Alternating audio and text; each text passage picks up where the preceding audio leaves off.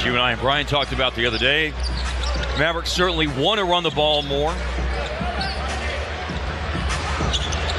Here's a three-point try by Karl Anthony Towns. He made his first three the other day.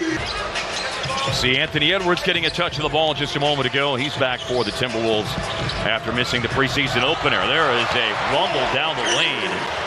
Another nice example of rim protection there. He's already got two offensive boards, a block, keeping plays alive. What more could you ask for? Sometimes you got to rebound in numbers. Lively barely got himself back in bounds and then turned into trouble.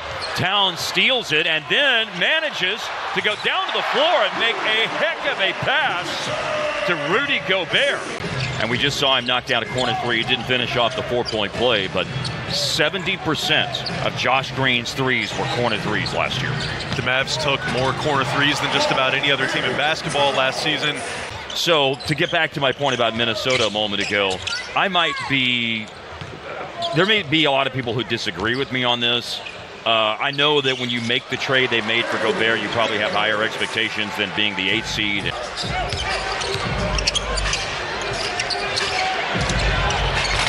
Three, Anthony Edwards, nice bounce.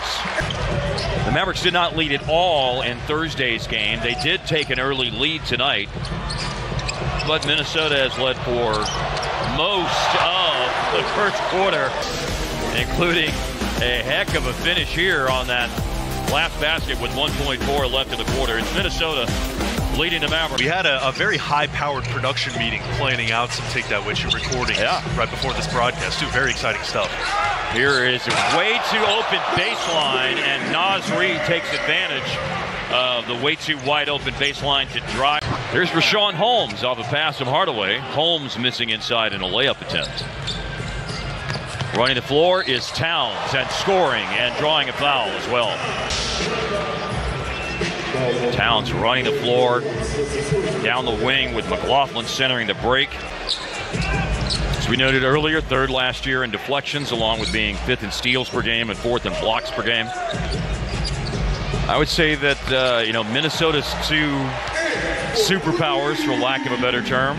Maybe we can get into rule changes later on and propose There that are the There- competition. There are some actual rule changes occurring this year, not an addition of one second on the shot clock periodically through the game. Naz Reid, Hardy made a three from the left wing. He'll drive it up the left side of the floor this time. Milton with the rebound.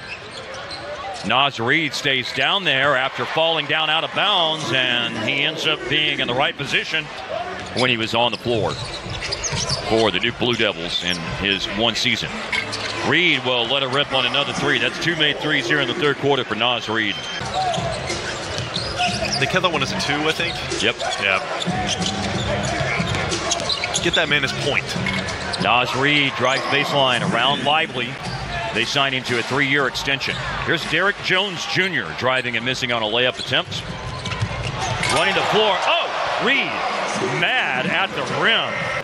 Our our crew tells us that it's 12 points in the third quarter for Naz Reid. There's two of the 12 right there. Thunderous